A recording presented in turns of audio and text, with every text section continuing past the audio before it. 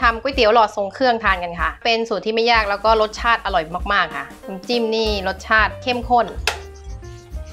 ก็มาผัดสามเกลือให้หอมนะคะสามเกลือมีกลิ่นหอมมากๆ แล้วก็ใส่หมูสับ ไม่ต้องผัดจนสุกดีก็ได้นะคะ ใส่เห็ดหอม ไม่จำเป็นต้องผัดจนหมูสุกก็ได้นะคะ อันนี้ก็เกือบสุกแล้วค่ะ แล้วก็เติมน้ำนะคะ เอาเต้าหู้ใส่ไปก่อนเลยค่ะ แล้วเดี๋ยวปรุงเครื่องกันผงพะโล้เกลือครึ่งช้อนน้ำตาลปี๊บซีอิ๊วดำหวาน เคี่ยวจนเข้าเนื้อแล้วก็น้ำงวดใช้ได้แล้วนะคะตาลซีอิ๊วหวานซีอิ๊วขาว น้ำส้มสายชู ใส่พริกขี้หนูตำหยาบลงไป ลวกเส้นใหญ่กับถั่วงอก จะนำไปนึ่งก็ได้นะคะ